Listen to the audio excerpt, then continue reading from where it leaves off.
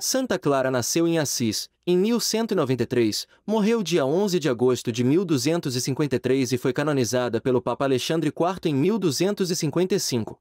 Em 18 de março de 1212, aos 19 anos de idade, fugiu de casa e, humilde, entrou na igreja de Santa Maria dos Anjos, onde era guardada por Francisco de Assis e seus frades. Passou por mosteiros e conventos, até fundar a Ordem das Clarissas. A partir de 1224, Santa Clara adoeceu e, aos poucos, foi definhando. Em 1226, Francisco de Assis morreu e Clara teve visões projetadas na parede da sua pequena cela. Devido às visões como filmes projetados numa tela, Santa Clara é considerada a padroeira da televisão e de todos os seus profissionais. Depois da morte de São Francisco, Santa Clara viveu mais 27 anos.